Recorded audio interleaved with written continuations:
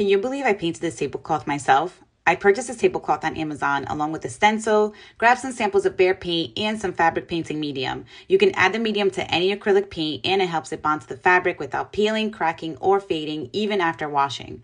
Once I had my paint mixed, I placed the stencil on the tablecloth and using a sponge, dabbed the paint right on. I used the color Cypress Vine for the leaves and Toasted Bagel for the flowers. Look at how beautiful it turned out. You can choose any stencil and colors to create your own custom tablecloth.